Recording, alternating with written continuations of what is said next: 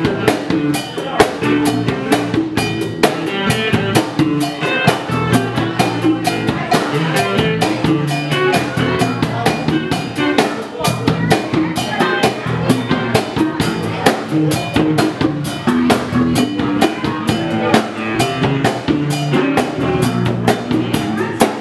-hmm. you.